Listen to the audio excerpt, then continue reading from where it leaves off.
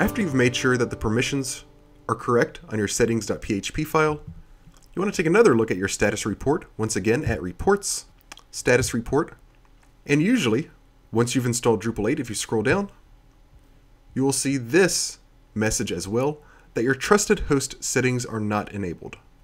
If we read the description here, the trusted host patterns settings is not configured.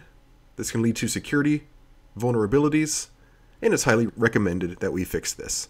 You can go to this link for more information. I'm not going to get into depth as to exactly what this is because it's a little bit complicated to explain, but it's fairly straightforward to fix. If we go back to our file system, let's look at the root of our Drupal folder. We're going to go back once again to Sites, Default, and now we do need to make settings.php writable, just temporarily. Let's edit this. And if we do a uh, Control F or Command F, depending on kind of computer you're using, if you do a word search for the word trusted, you'll find trusted host configuration. You need to find the example code right here these are the three lines between this at code line and the at end code.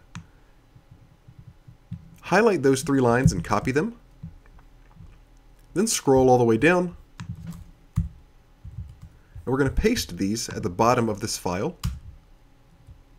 Once we do that, we need to get rid of these asterisks at the beginning of each line. It's best to get rid of the spaces as well. So just go right up to where the actual code starts delete the space asterisk space, and then do the same thing, preferably maintaining the indentations for each line. And then what we need to do is change this pattern here to our own domain. So for me, I'm on ostraining.us. So I need to change the .com as well. And it's also best to copy this line and put it below here. And then use the same thing, but remove the www backslash dot. So it'll work for, it protects you against certain attacks that may use your domain with www and without the preceding www. Once you've done that, save your changes. If you get a permission denied message here, that's all right. Back out.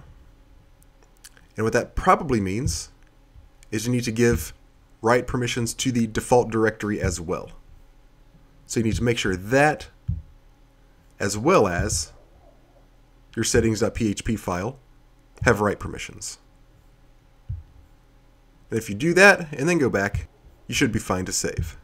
Let's go back to our status report, and if we refresh the page now, and now we see that our trusted host settings are enabled, making our site more secure against certain types of attacks.